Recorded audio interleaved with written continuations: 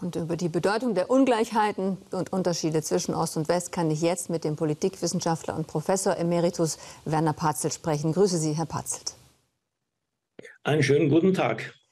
Einer der größten Unterschiede ist ja der Erfolg der AfD in Wahlen und auch in Umfragen. Just diese Woche ist die Partei vom Verfassungsschutz in Gänze als rechtsextremer Verdachtsfall eingestuft worden. Wie erklären Sie den großen Erfolg, den die AfD im Osten vor allem bei männlichen Stimmberechtigten hat, bei Wählerinnen ja eher weniger? Die Geschlechterunterschiede lassen wir zunächst beiseite, sondern machen uns klar, dass es in Ostdeutschland seit der Wiedervereinigung heftigen Systemprotest gegeben hat. Damals durch die PDS ventiliert, heutige Linkspartei, inzwischen durch die AfD.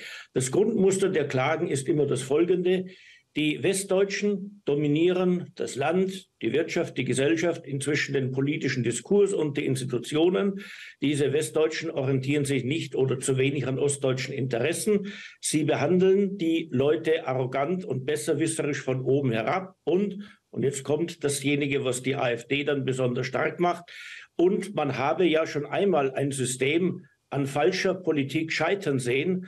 Und jetzt sähe man wieder das Land auf dem gleichen falschen Weg und deswegen müsse man jetzt Protest erheben. Woher der Mann-Frau. Mhm. Ja, achso, bitte. Entschuldigung.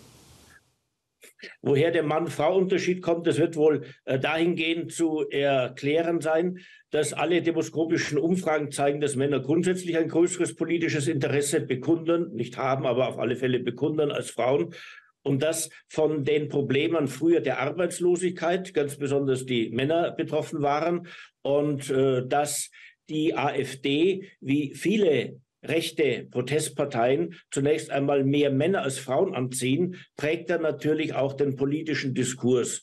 Und so wird man sich, sich die Sache vermutlich zurechtlegen können.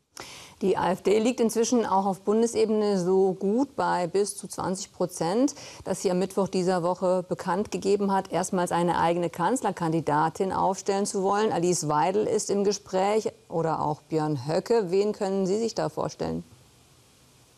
Also Björn Höcke könnte ich mir nur dann vorstellen, wenn die AfD aus lauter strategischen Dummköpfen bestünde. Äh, denn Höcke wird äh, ganz gewiss nicht äh, viele Leute zusätzlich zur AfD bewegen.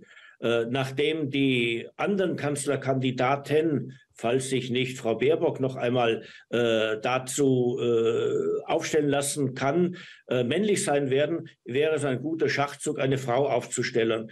Das Wesentliche aber ist, dass durch das Benennen eines Kanzlerkandidaten oder einer Kanzlerkandidatin die AfD es erschwert, sie aus der politischen Kommunikation auszugrenzen. Wann immer mit Kanzlerkandidatinnen und Kanzlerkandidaten gesprochen wird, wird es unausweichlich sein, die entsprechende Person der AfD AfD auch einzuladen und mit ihr über Politik äh, zu diskutieren. Ob das nun zum Vor- oder Nachteil der AfD ausgeht, das muss an dieser Stelle nicht erörtert werden. Aber die frühere Gewohnheit, die AfD einfach nicht äh, zu berücksichtigen oder nur zum Gegenstand des Sprechens über sie zu machen, das wird sich mit einem Kanzlerkandidaten oder einer Kanzlerkandidatin nicht mehr bewerkstelligen lassen. Und das scheint mir der tiefste Grund dafür zu sein, dass die AfD inzwischen den Westerwelle nachmacht, wo da damals ja die FDP auch ohne Chance auf Regierungsübernahme auch einen Kanzlerkandidaten gebraucht hat.